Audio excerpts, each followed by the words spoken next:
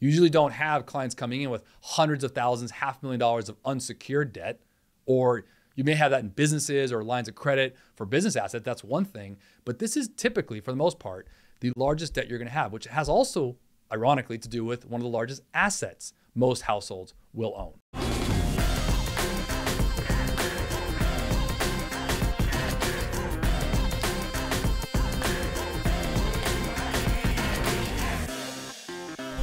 Hey everyone, and welcome to Make Your Money Matter. I'm your host, Brad Barrett, and I'm also a managing director and partner here at One Capital Management. And I'm here each and every week to help you make more confident money moves because, after all, your money matters. And today, friends, we're gonna be talking about your house. It's an interesting topic around a home, specifically the house that we choose to live in or the one that we might be looking to own. It's a very interesting topic for everyone as it relates to each of us in different ways. To some, it's a roof over our head. To others, it's an investment. And many of you listening or watching here are probably a lot like me. When you buy a house, you get a mortgage. And when you get a mortgage, what's your first thought? I want to pay off that mortgage. I know I heard that from my parents. My parents heard that from their parents, and so on. So I want to go through the history and the philosophy and the psychology around mortgages as it relates to our money, and then get into three specific questions that I think are really important when it comes to the topic, the, the general larger topic of real estate. How much house can I afford? How much of my monthly income should go to my house? And should I really care about interest rates? But before we answer those questions and talk about our house, let's smash that subscribe button and hit the notification bell so you don't miss a single episode. All right, let's get into it.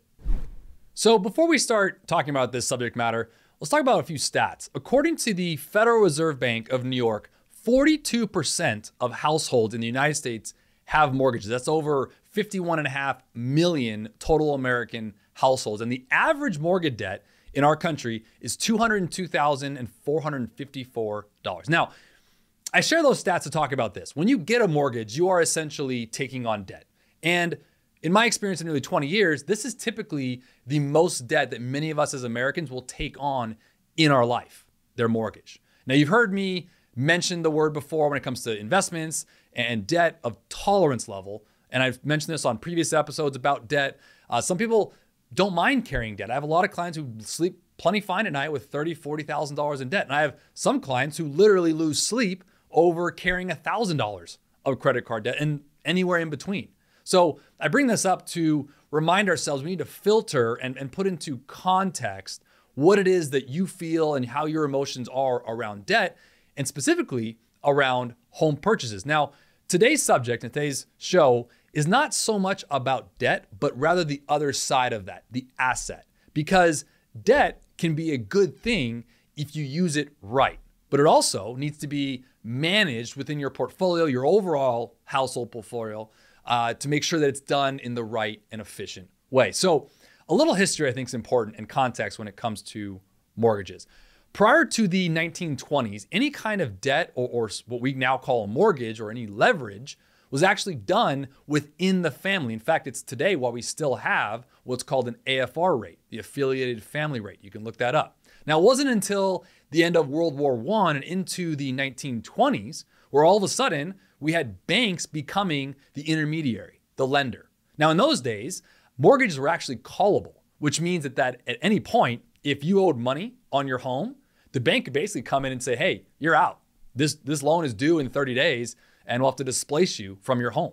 Now, further to that point, mortgages at that time period when they were first getting started by banks, they weren't 30 years long. They were five years long. They weren't these long mortgages. So, as always, it's something I know I bring from my own background into this, and I talk about the psychology and the philosophy around some of the items I mentioned.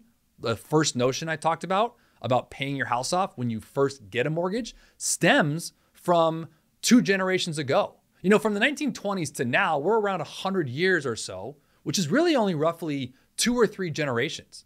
So, anyone listening or watching right now is probably in one of those two or three generations. If you're in your 20s or 30s or 40s and have been told this by your parents, maybe, you might have been born in the 50s or 60s or 70s, or vice versa. You were born in the 50s, 60s, and 70s, and you heard this information from uh, your grandparents who were born in the early 1900s. You can see how we created a culture of people that believed the only way we could truly have security was by having our mortgage paid off. Now, obviously, over the years and over the decades, a lot has changed and a lot has happened with regards to the laws surrounding mortgages because they're no longer callable anymore and you can't be displaced from your mortgage necessarily. We have laws in place for that.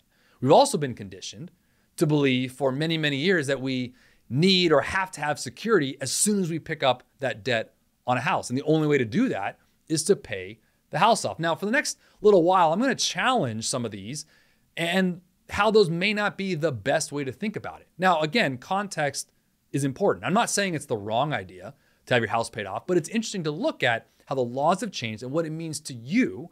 And on a mortgage on a house today may or may not be of interest to you, depending on, again, your certain situation, which leads us into the three questions that I talk with my clients a lot about that I think are important when it comes to a mortgage and your home. Now, the first question I bring up is how much can I afford? Because usually when we start this conversation, that's typically our starting point. And for many of you watching or listening right now, no matter your age or your financial circumstance, you've likely gone through this question in one way or other. Now, my second question I bring up is how much of my monthly income should be going towards my house? I bring those two up right out of the gate because they actually go hand in hand. Now, you might be thinking, okay, so where do we start with this conversation?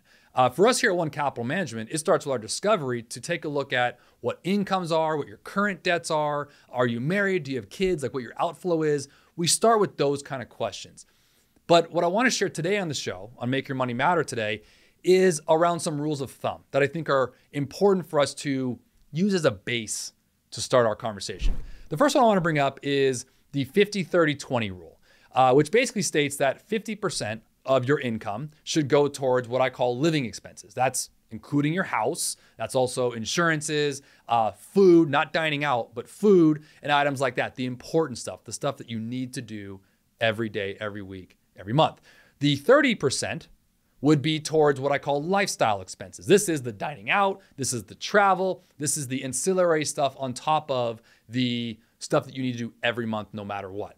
Then the last 20% is for savings or investments, or essentially retirement or debt repayment. So if you start there from right there, I think it's important to understand that 50, 30, 20 is a good rule of thumb to kind of look at for those of you looking to budget, just to start there, right? And then I want to move into what's going to dovetail into our second question, which is how much of our monthly income should go towards a house, which will then help us answer how much house we can afford. When it comes to the question around how much of my income as a percentage should go towards something as specific as a house, going back to the first rule I just mentioned, the 50, 30, 20, it would likely fall in the 50%. Now, remember, that's not the only thing in that category, right? There's also your insurances, your gas, your utilities, uh, food, actual food, you know, everything from taking care of yourself. We call those activities of daily living in your living expenses. So we need to break it down into more of a, uh, as a certified financial planner myself, the board comes out and talks about these rules of thumb, and I want to bring this one up to you. Somewhere between 28 to 35% of your monthly income should go towards what's called PITI. This is relatively specifically to your house. And PITI stands for principal, interest, taxes, and insurance. So if we start there, and if it comes between 28 to 35%, including all of those factors when it relates to your house, you're typically within the ballpark of answering the question of how much of my money should go towards my overhead or basically paying debt down on a house that we own. By the way, you can use that same rule of thumb in terms of rent. And, and I think it's important to bring it up here real quickly. And I think it's wise, and I want to share this as counsel of nearly 20 years of working with clients in all different kinds of financial situations. You don't need to own a home. I think the American dream has always been you have to own a home. You know, uh, uh, you just that's the way. That's that's success in terms of having a house or a family. And I bring this up only to say this: I've seen a lot of plans built where rent becomes a factor. I mean, just take in consideration you're watching right now and you're a young person. Now, getting in and talking about the investment side is wise in the sense of buying a house and investing in that house. I agree with that. But it also limits you because it's not a liquid asset. You can't just trade it like a stock. So it becomes a little bit more tangible, a little bit more illiquid. So if you're still trying to find your career, you're moving jobs maybe, or or you find a love interest, you're trying to go and they're they're out of state or out of the you know the county that you're in. You know you want to be a little more flexible. So give yourself some time to really work through your planning at certain stages and ages of your life versus just okay. Uh, I'm 25 years old. I got my first job. I think I'm in my career, and now the next thing I need to do is buy a house. Now, I'm not saying that's not the right move. I'm just saying it's okay to think through it, talk with your advisor. That's what we do here at One Capital to make sure we put it into context. And when I talk about the two rules of thumb I just brought up, there is something I want to bring up when it comes to rules of thumb. They are just that. They're rules of thumb. They don't take into account your personal circumstances. And this decision, when it comes to actually making the decision that's right for you, involves some math. It involves emotions. It involves circumstances and trade-offs. And it's it's all encompassing. And before we get into some qualifiers about how to think about these questions, that's why I wanted to bring up about the need to buy a house and whether or not that's the right fit for you. And that helps us get to, again, the question of how much of my monthly income should be going towards that. And we look at that say, these are, again, rules of thumb. So play it how you need to in terms of your comfort level on the house. And let's reinvert those back up to the original question of how much house can I afford? This is also going to lead into my uh, third question today was, do I really need to care about interest rates? So first and foremost, when we talk about a mortgage, there's multiple kinds of mortgages, right? And I'm going to talk about the two generic ones when it comes to fixed versus variable. Now you need to know something. When you fix a interest rate, meaning you have a stated interest rate for a 30-year fixed environment. That's a typical example. You can do 15, 20, 25, 30. There's different ways to do it. But when you fix it, the majority of the interest is uploaded in the front. So on a 30 year fix, typically anywhere between the first 8 to 12 years is largely interest. Now you'll start seeing after that 10 year mark, 11 year mark, 12 year mark, the amount of the payment, which is the same, the amount of interest and principal starts to switch. Mortgage companies do this because they want to get their money back first. Makes sense, fine. For those of you listening right now, when it comes to debt, because mortgage is a debt backed by an asset, this falls into my camp of what I'll call good debt. And there's three categories of good debt. It's lower interest, it's typically deductible, and it's for or collateralized by an asset. So when you talk about mortgages, they fit all of those categories, right? It's typically lower. And by lower, I mean not double digits like unsecured debt would be like a credit card. So if you look at mortgages as an example, even though they are higher this year, they have definitely gone up. We've all seen it. In fact, as of the recording of this, we've just seen a 75 basis point uh, increase in the Fed in general for this year, 2022. So we're going to likely see some higher rates coming up. But we need to put that into context because, yes, it's higher than it was last year, but it's nowhere near what we were paying in the 80s. For many of you watching or listening right now, uh, we were paying double digit mortgage rates in the 80s. Now, that was all relative because we were also getting paid 9 or 10% in a CD at that time. But the point of the matter is, it's still lower than what you would otherwise get as debt. And then you look at the appreciation rate. Historically speaking, real estate is done anywhere between 4 and 5% of an appreciation. Now, these past couple years, we've obviously seen an acceleration of that, but over 30 year cycles, we've seen it right around a 5% appreciation. So even though we're paying debt right now at about 5%, the appreciation you should see based on historical data on your house will be right around the same. So it is a good forced savings in a way uh, to put into it, and you're getting some deductions along the way. So if you have a 5% mortgage, depending on your income and other circumstances, which you talk with your CPA about, it's likely deductible through Schedule A deductions. So when you look at a, as an example, hypothetical, if you're going to go get a 5% mortgage and you're in the 20% tax bracket and you can write off that interest, you're basically net net paying about 4%, right? 20% off of 5 is 1%. 4%. So your net pay, because of the deduction, is actually lower than the APY or APR that you're paying. So it's interesting to look at those things as you discuss how much of my income should go towards paying a house, and then ultimately back up into how much house can I afford. How much house can I afford is a is a encompassing question, and here's why. It involves all of the aspects of a mortgage. We've been talking for the first few minutes here about a mortgage, but when we reinvert the math equation back up to the actual price of the house, the first thing that comes up is down payment. Because as an example, let's say you're going to look at a million dollar house or a million dollar condo or townhome or whatever it is. And the typical rule of thumb, as many of us know, is you want to try to put 20% down. So, on my hypothetical example, if you're looking to buy a million dollar property you want to try to put $200,000 down. We're going to talk about that in a second because I know that's a harder thing to do nowadays than it's been in the past. And we're going to talk through that. But at 20% at $200,000, that means your mortgage is at 800. Now you'll notice the equations and the rules of thumb I just provided have a lot to do with the monthly note on the mortgage.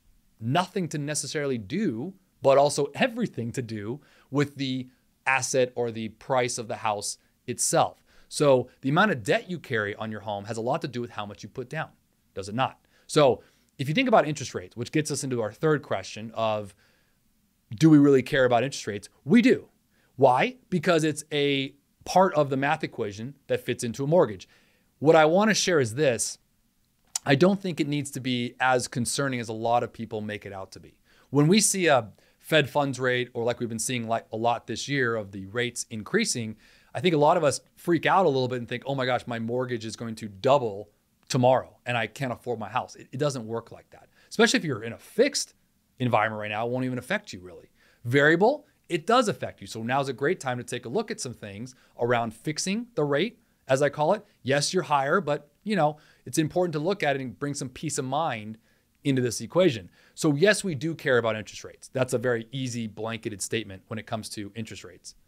But it does also get us to the larger question of with all those things considered, uh, somewhere between 28 to 35% of our household income going to a mortgage, uh, being within the 50% of living expenses in my first rule of thumb, and then caring about interest rates, the only other thing that's a variable here is our down payment.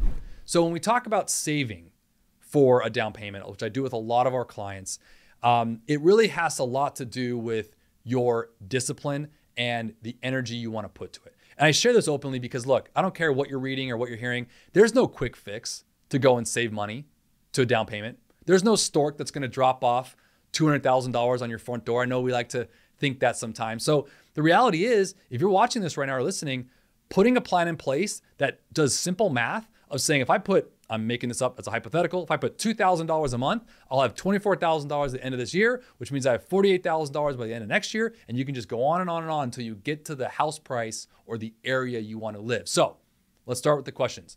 How much house can I afford? Where do you want to live? Are you living in California or are you living in Wyoming? Different house prices, right?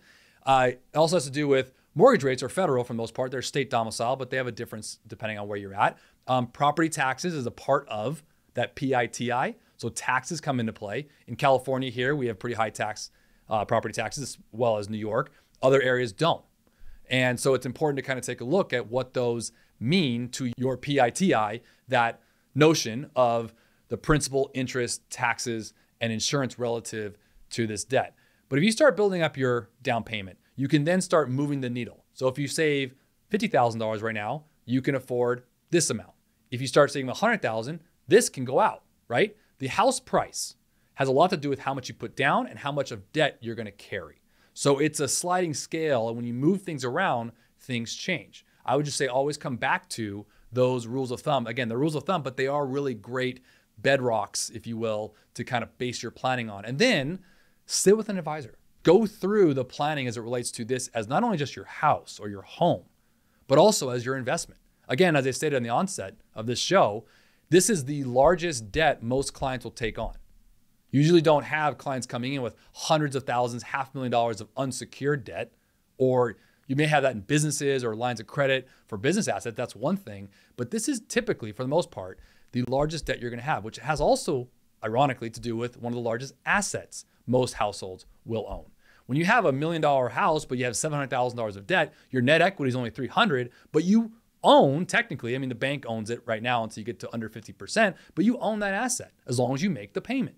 So it is a forced asset and it is something that you're basically front loading the asset up front and you're diligently paying it down as time goes by. So there's aspects to what the right mortgage is for you that an advisor can help answer. There's as, there's aspects to the conversation around again, understanding if these rules of thumbs apply to you. Can you do more? Can you do less? What does your income look like? Is it variable comp? Are you a salesperson getting compensated through commissions or is it a stated salary with a bonus? Like all these factors come in when it comes to a house. But how much you can afford is how much you're willing to put down and how much you're willing on the debt to carry.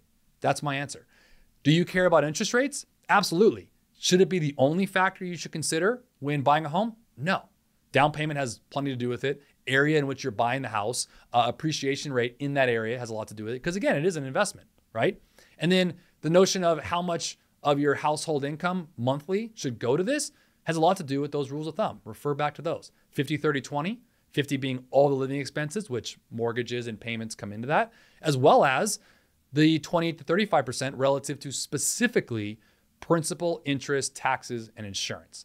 So I think if we answer those questions, today I wanted to really talk about again how money gets involved psychologically and and you know around mortgages, but as I mentioned before, I'm not saying that's right or wrong to pay your house off or not pay your house off. What I am saying is that we have to look generationally because again, barely 100 years ago, our families were inheriting land or, or were not having assets that we had to give. But if we did want to look at something, it came within the family. Now we have banks, we have this ability to go and buy. And so we also don't have these situations where the bank has the right to call the loan back within five years. So we don't have this worry anymore like we have to pay this off right away because they could call us any day. So it's important to take a breather, go through that, look backwards to look forwards, as I always say, because the psychology we bring into the notion of having to pay it off. Look, obviously, stress wise and relief wise, it'd be awesome to pay your house off and not have a payment. I get that. But I always say this to clients it's not like you can go knock on the door of that house and say, hey, I need grocery monies today. You know, so we have to have a happy marriage between your liquid assets and your illiquid assets. And I'm not saying that in a negative way, but our house and typically tangible assets are illiquid. They're not exactly right away accessible to you. So we have to really build a plan that encompasses a house and a home for your family, but also has a good relationship between the dollars you can spend monthly as well, right? That's the liquid environment. By the way, that also ultimately will include 401ks, IRAs, 403bs, and all those liquid assets that become available to you in retirement. Okay, it's time to answer your questions. If you have a question or topic you'd like me to address here on the show, you can leave a comment or question in the comment section. Or if it's something you want to talk more one on one or more personal, just go to the About page on our channel and send us an email. We'll always keep the questions I read here anonymous, so you don't have to worry about your name being shared, but we do love hearing from you, so please share. Today's question um, came around refinancing, which has a lot to do with our house. When is the right time or when is it worth it to refinance. Uh, an example of that could be if the interest rates go down maybe half percent or 1%. I know right now we're in a rising interest rate environment, but when we talk about refinancing, I'll come up with a few things, but I want to start with this. First and foremost, this to me has always been a question when I advise clients. It's really in the eyes of the beholder. Because if you look at the math, which I'll give you to in a second, it has to do with what you're willing to do to is a certain reduction in payment worth it to you. Anyone who's gone through a mortgage or gone through a refinance before knows it's not the most fun process. It's quite lengthy. They're going to ask for everything under the sun, a lot of documents, this, that, and the other. So it has to do with the process there. But some math I think is important to look at. Let's just talk about some rate decreases, and then we're going to talk about rate increases. When it comes to a rate decrease, using a 5%, right now, typical mortgages, conventional or jumbo, depending on where you're at, is right around 5%. It might go up a little bit here soon. Uh, on a 30 year fix, let's say it's 5% every $100,000 of mortgage that goes down by 25 basis points or 0.25% is about $15 a month. If you have a half a million dollar loan, that's right around seven, 75 bucks a month, right? So is it worth it to you is the question. Eye of the beholder. Is it worth it to you to go through a refinance to reduce uh, your mortgage payment by 75 bucks a month? Now, that's on the monthly. You extrapolate that out over 30 years and you keep that same mortgage, that number becomes quite a savings, which many people talk about. And yes, that is factual and true. So I'm all for that.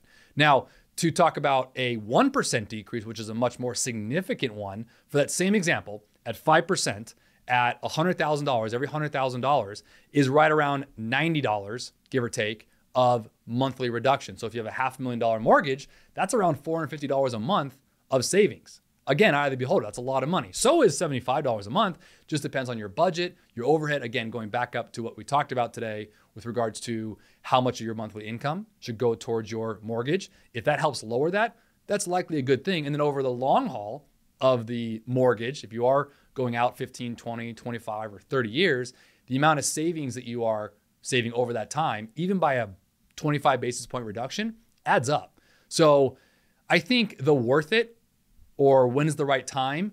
I think anytime you see a rate reduction, it's probably worth looking at. I think going through with your lender and talking through it or talking with your advisor about your situation to help you find that right lender for you, I think it's worth looking at. I also think it's an interesting time period to do if, even in a rising interest rate environment, if you have things on your mortgages from previous items in your life like PMI or items like that, it's probably worth looking at because if you can at least get the insurance off of there, even though your rate is higher, you can then hopefully refi when it goes lower. Now, that's more of a strategy around whether that's right for you and if you want to get the deductions by raising your interest rate, but it does add to the amount of the loan at the end. So you have to look at that from different contexts. So it's a great question.